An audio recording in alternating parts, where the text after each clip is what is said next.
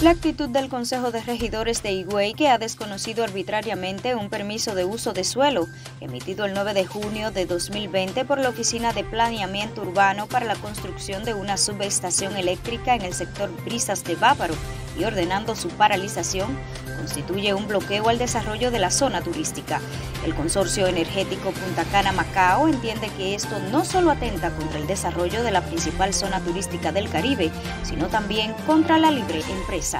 Pasando a la provincia Duarte, el Ministerio Público de esa demarcación obtuvo tres meses de prisión preventiva contra un hombre que mató a su pareja de 291 puñaladas en San Francisco de Macorís. El juez José Frank Reynoso de la Oficina Judicial de Servicios de Atención Permanente impuso la medida de coerción a Eusebio Rosario Hernández, alias Eddie, quien deberá cumplirla en el Centro de Corrección y Rehabilitación Vista del Valle.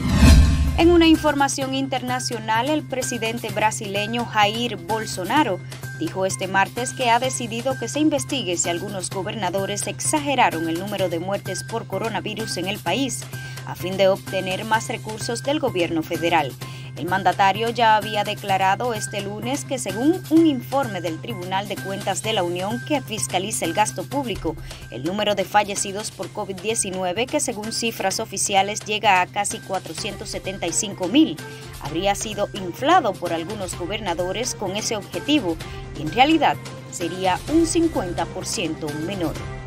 Más detalles de estas y otras informaciones accediendo a nuestro portal www.n.com.do.